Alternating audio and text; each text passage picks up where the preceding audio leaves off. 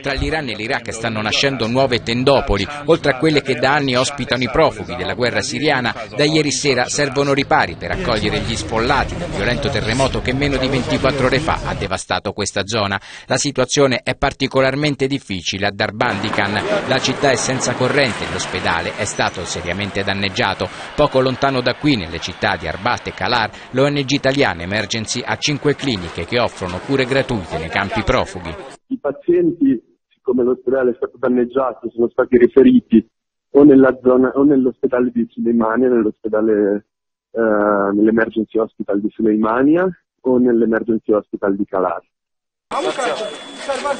Fondamentalmente i parenti e amici stanno ospitando le persone che sono, state, che sono rimaste senza casa a Kanaken, versante iracheno del Kurdistan, il sisma ha danneggiato la locale moschea. Quest'uomo dice grazie a Dio non ci sono state vittime, la parte superiore del minareto è venuta giù danneggiando il tetto della moschea.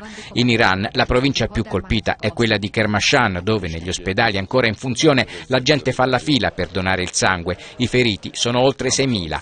Ho sentito esplodere i vetri delle finestre, dice questo ragazzo, e poi è venuto giù tutto. Dopo la crisi diplomatica seguita al referendum di fine settembre sull'indipendenza, il terremoto ha riavvicinato la Turchia ai curdi iracheni. Il governo di Ankara, oltre ad esprimere solidarietà e vicinanza alle famiglie delle vittime, ha infatti inviato migliaia di tende coperte. Intanto gli sfollati si preparano alla seconda notte fuori casa e, come spiega questo ragazzo, dormiranno tutti fuori perché anche chi ha ancora una casa ha paura, teme per la propria vita. Quella che abbiamo vissuto ieri sera è stata un'esperienza terrificante.